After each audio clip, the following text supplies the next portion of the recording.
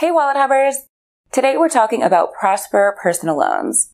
The first major thing to note about Prosper personal loans is that they're available to people with fair credit or better. Next, Prosper offers quite a bit of funding, and the payoff periods can be either 36 or 60 months.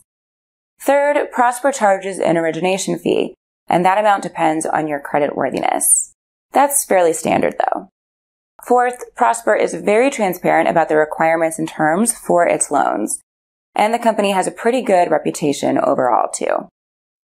Finally, like all personal loan providers, they advertise a pretty broad range of possible interest rates.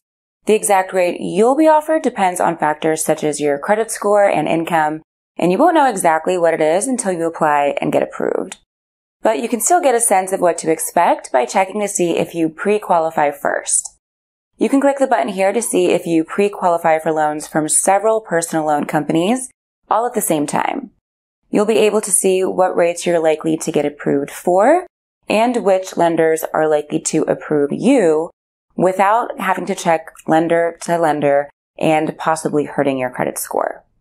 Good luck!